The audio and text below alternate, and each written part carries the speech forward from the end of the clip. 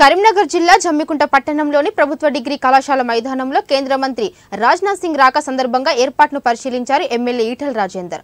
అనంతరం ఈటల రాజేందర్ మాట్లాడుతూ జమ్మికుంటలో జరగనున్న కేంద్ర మంత్రి రాజ్నాథ్ సింగ్ బహిరంగ సభకు ఇంటికొకరు తరలి వచ్చి విజయవంతం చేయాలని కోరారు. సీఎం కేసీఆర్ను ఓడించే సత్తా బీజేపీకే ఉందన్నారు. హుజీరాబాద్ ఉప ఎన్నికల్లో కోట్లాది రూపాయలు వ్యయం చేసి తనను ఓడించేందుకు బీఆర్ఎస్ సీఎం ప్రయత్నించారని దాన్ని ఓటర్లు తిప్పికొట్టారన్నారు. కేసీఆర్ను గజ్వేల్లో ఓడించడమే తనకు ప్రధాన కర్తవ్యమని చెప్పారు.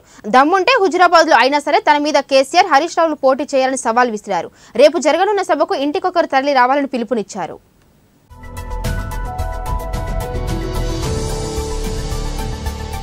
గ్రౌండ్లో లక్షలాది మంది సమక్షంలో అనౌన్స్ కూడా చేయడం జరిగింది.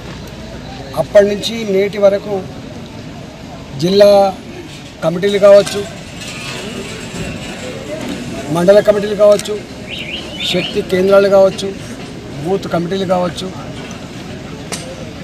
దీనికి అనుబంధంగా ఉన్నటువంటి మోర్చాలు కావచ్చు అన్ని కమిటీలు వేసుకొని నియోజకవర్గ స్థాయిలో పార్లమెంట్ స్థాయిలో ఇన్ఛార్జీలు వేసుకొని పని కొనసాగుతూ ఉంది.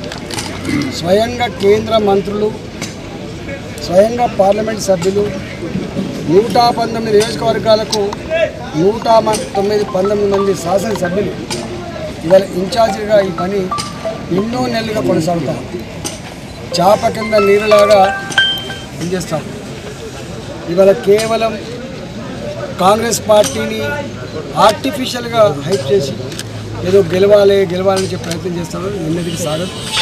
కేసీఆర్ని ఓడగొట్టగలిగే సత్తా శక్తి భారతీయ జనతా పార్టీకి మాత్రమే ఉందని పైన నమ్ముతా ఉన్నారు.